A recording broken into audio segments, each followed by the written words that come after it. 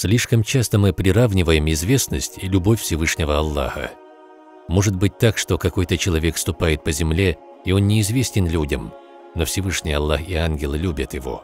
Какой урок мы можем извлечь из хадиса пророка, алейхиссалату вассалям? когда он сказал, «Поистине, если Аллах полюбит кого-то, то Всевышний вызывает ангела Джабраиля, алейхиссалям, и говорит, «О, Джабраил, я хочу, чтобы ты знал, я полюбил того человека, и ты тоже полюби его». Для того, чтобы полюбить тебя, Джабраилю, алейхиссалям, нет необходимости знать что-то еще о тебе, кроме того, что Всевышний полюбил тебя. Затем Джабраиль, алейхиссалям, будучи старшим над всеми ангелами, вызывает их к себе и говорит, «О обитатели небес, Всевышний любит того человека, и вы тоже любите его. И все обитатели небес тоже любят того человека. Далее пророк, алейхиссалату вассалям, говорит, «Затем в сердцах людей возникает принятие того человека, любовь к нему возникает в сердцах людей». А теперь пришло время обратить внимание на несколько моментов. Первое – любовь ко Всевышнему – это единственная безусловная любовь, к которой должен стремиться каждый человек.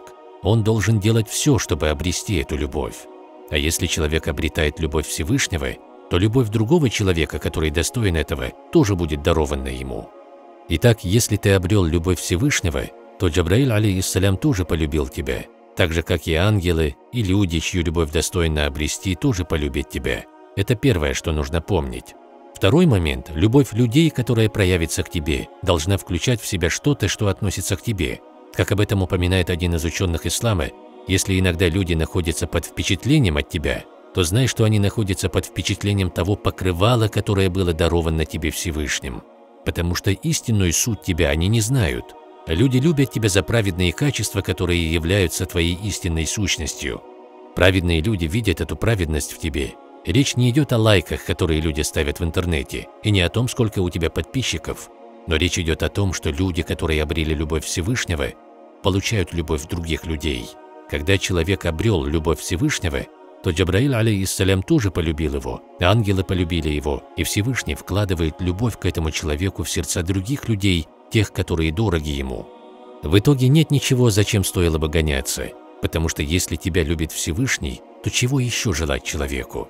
Еще мне хочется, чтобы вы поразмыслили над тем фактом, что ангелы полюбили тебя, поразмыслить над всем, что сотворено вокруг – Ценность всего созданного вокруг определяется лишь тем, насколько это приближает тебя ко Всевышнему, и это относится даже к таким созданиям, как ангелы.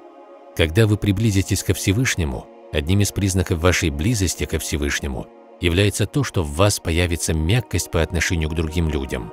Это признак милости Всевышнего к вам. Если вы хотите знать, проявляет ли Всевышний милость по отношению к вам, посмотрите на то, смягчается ли ваше сердце по отношению к другим людям. Вы очень уважительно с ними говорите, вы бескорыстно им помогаете.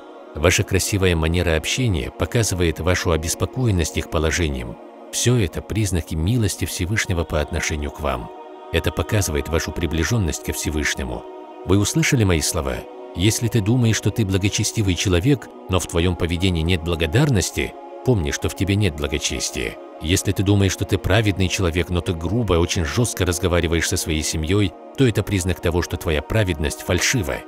Можно делать не то что пять, можно делать шесть намазов в день, но при этом праведность человека может быть фальшивой, потому что истинная праведность проявляется в благородном нраве человека, в твоем поведении, в том, как ты относишься к людям, в том, как ты разговариваешь с ними, начиная со своей супруги, своих родителей, своих детей, своих братьев и сестер. Вот в чем истинная праведность. Спроси себя, делаю ли я свою супругу счастливой, Доставляю ли счастливые моменты своим близким? Говорю ли я приятные вещи просто чтобы порадовать их? Если да, то, возможно, у тебя есть особая связь со Всевышним. Особенно, когда это трудно, когда тяжело, потому что нам нужно повторять этот момент. Услужить родителям нелегко. Откуда я знаю, что это нелегко? Потому что Всевышний обещал рай за это. Если Всевышний говорит «поступи так, и ты обретешь рай», мы понимаем, что это нелегкое дело, это тяжелое дело. Вот за это трудное дело и даруется рай. Когда ты женишься, у тебя рождаются дети. Твоя мама становится пожилой, между женой и мамой возникают проблемы. Появляются многие другие вопросы и сложные ситуации. Ты мечешься между этими вопросами и проблемами. Тебе приходится играть мудрого политика в доме. Тебе приходится подыскивать слова, чтобы угодить всем. И так постоянно ведется какая-то борьба, прилагаются усилия, и эта борьба ведется всю твою жизнь. В итоге, если ты в своих стараниях был искренним, Всевышний дарует тебе рай, потому что Он знает, ты старался сохранить мир. Да, это нелегко. Если было бы легко, думаешь, Всевышний сказал бы, услужи своей маме и обретешь рай. Нет, это трудно. Обретение рая достается дорогой ценой. Это не дешевая вещь. Ты встаешь на утренний намаз не один раз в жизни. Ты делаешь это каждый день, и только потом обретешь рай. Понимаете суть? Необходимо каждый день посвящать поклонению. В этом деле нет выходных. Нет такого, как в случае с диетой при похудении. Шесть дней не ешь, а на седьмой ешь то, что хочешь. В поклонении надо стараться каждый день.